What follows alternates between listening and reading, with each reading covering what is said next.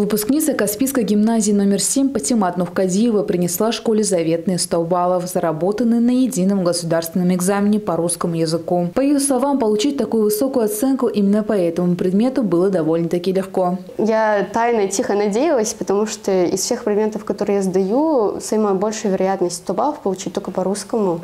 Вот. Но мне казалось, что я не получу, потому что вот какие-то задания были, которые мне очень редко получались правильно. Поэтому я думаю, ну, вряд ли. Может, 90 плюс, да, а вот 100 я не думаю. Сейчас Патимат с улыбкой на лице вспоминает то утро, когда ей сообщили, что на табеле результатов стояла отметка 100 баллов. Я сначала вообще не поверила, потому что я попросила свою одноклассницу посмотреть, я очень сильно переживала. Это было рано утром, там все домашние спали.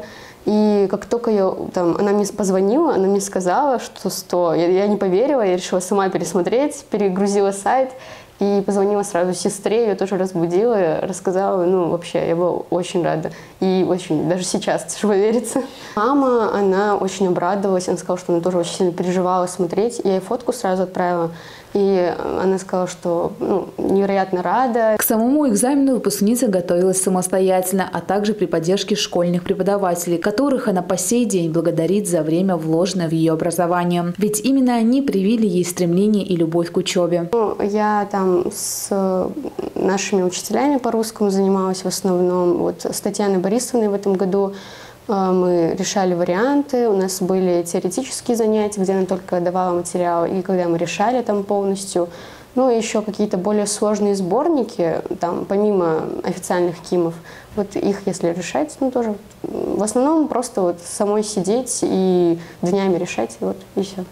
Стоит подчеркнуть, что Каспийская гимназия славится тем, что ежегодно ее выпускники приносят школе такие результаты. Так, в прошлом году выпускник гимназии стал единственным обладателем 100 баллов по профильной математике во всей республике. Как отмечает директор школы номер 7 Магомед Магомедов, уверенность в том, что в текущем году ученики принесут в школе такие же результаты, несомненно присутствовала. Я считаю, что это результат нашей общей работы, но в основном это заслуга ее самой. Это человек, который может выражать, может отстаивать свое собственное мнение, всегда настроен на положительный результат в любом деле, спокойная, трудолюбивая, целеустремленная, с активной жизненной позицией. Вот, поэтому ты поступаешь, мы, я хочу как руководитель пожелать тебе удачи при поступлении, при учебе. Вот, и нам, Каспийску, побольше 100 бальников. Сейчас медалистка готовится к поступлению в медицинский университет и ждет результатов по биологии. Отметим, что результаты других экзаменов превышают отметку 80 баллов. Медицинский вуз хочу поступать, э, там, ну, в зависимости от баллов, конечно, университет.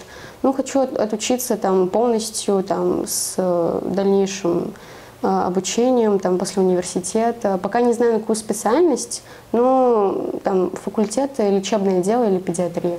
Кроме того, Патимат Нувкадиева также решила обратиться ко всем десятиклассникам, которым предстоит пройти это испытание. Я бы хотела посоветовать, ну, постараться не переживать, хоть это очень сложно сделать, но вот э, просто стараться не думать о том, что вот это вот ЕГЭ, что вы к нему готовили, что это все решит.